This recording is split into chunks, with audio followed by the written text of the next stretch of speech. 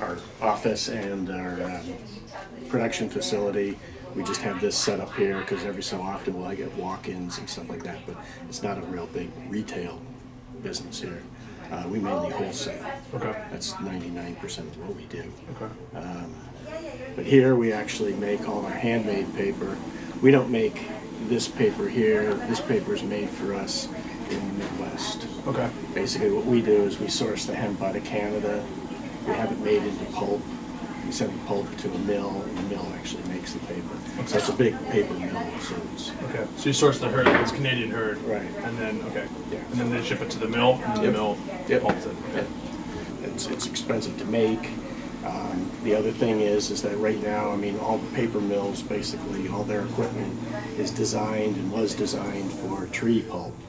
Hemp pulp is a little different, and so it's a little dicey because hemp pulp is a little oh, oh, thicker, Okay. and so it doesn't drain as well, and it also tends to clog up all their filters. Okay. So it's a more expensive process because they have to kind of babysit the making of the paper. As far as I know, we're the only ones that manufacture this kind of paper. But like tissue paper, toilet paper, uh, it's it's a it's a similar process, but a little, but with hemp, it's easier to make tissue and toilet paper than Most paper likely paper. because you're probably using, you know, a, a more or a less concentrated. So in other words, it's it's probably more watered down to get the the, the tissue.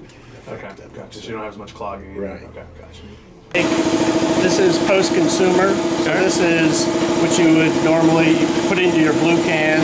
It gets processed here in the States, basically at a, um, a, a mill in the Midwest. Okay. In Menominee, Michigan, actually. And uh, they de-ink all this, all the paper using hydrogen peroxide.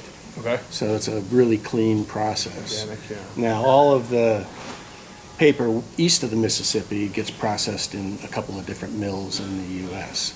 Everything west of the Mississippi goes to China.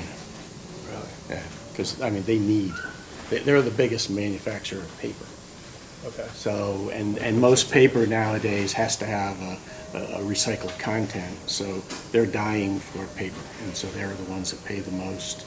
And they de-ink it using any caustic chemical they can because they, they want it quick. Okay. So, but yeah, that's So that's the recycled feed goes to China, or just the fu- the sorry the, The oh, the recyc- finished product? Oh, the, recycled- the re- actual, yeah. Okay, It recycled gets paper. baled up and, Okay. and goes on ships. So that's one of the, the products that actually we export back to them. Interesting. So that's how the containers get back to them. So, yeah. Anyway, and then this is cotton linter. So cotton linter is the byproduct of making cotton.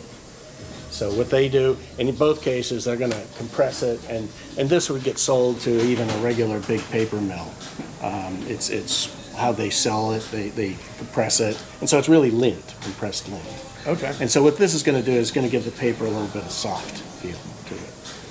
And you can see in this bucket, this is old pulp, but it's had seeds in it because we grow, we put seeds in our paper, and so the seeds are sprouting. To give it texture, or just uh, No, no, because people people will use it, to tear it up, and uh, throw it in their garden. and It'll grow wildflowers. It's a way to to kind of do something with your paper. So in other words, it's used for like wedding invitations, greeting cards. But we put seeds in the paper: wildflower seeds, vegetable seeds, herb seeds, you know, different stuff. So you get your wedding invitation, and then you plant your zucchini. Yep.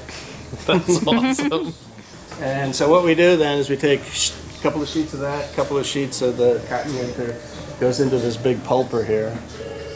They're going to add water, and it basically has these big teeth in it, so it's going to beat the pulp and it's going to turn it into this, which is uh, a mixture of water and So the you pulp. kind of see it laying underneath there. Yep. We're going to color it. They actually color it in there. And what they're going to use is those earth pigments. And those are actually the natural colors from minerals in the earth. Okay. So it's there's no dyes used in our paper. And those are the different seeds that we use, lettuce, tomato. Today they're just doing wildflower. So once they put it into the big beater there, um, it's going to come into, they're going to put it little by little into the vat. They're going to put it into these garbage cans first. And using this, this is a uh, hand sewn brass mold. They're going to actually pull and put this deckle edge on it. They're going to dip it in the, in the pulp. The pulp is going to stay within the frame here. take the frame off. They're going to then couch it onto a, a sheet of Pellon, and you can see it there. It's Okay. put it on there, and then they're going to put another sheet, another sheet, and they're going to sandwich it like that. Then they're going to put it in the press. And then the press actually squeezes the rest of the water out. And we actually had this press fabricated for us.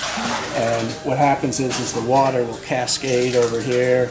It'll go into this bucket underneath here, where it goes, filters back into that bucket. That goes back into the Recycle. so, so we reclaim just about every drop of water that we use. This We use this um, in our packaging, in our packing, so we use it for Oh, filler and filler and stuff like that. Um, we'll also use it when we make hemp paper. We can actually um, put this back in the beater and turn it into Mulch it pulp up, again. okay. Yeah. pulp it up. So that's why we keep it all separate. This is all the retail type products that we sell. So we would sell these to um, stores like all across the country. So Okay. this is all art paper. These are journals. Who's your biggest client? Or some of your biggest clients? Uh, Paper Source actually is probably our one of our bigger retail outlets. Most of them are small. I mean, like for hemp products, it's like I would say you got somebody like a Santa Fe hemp.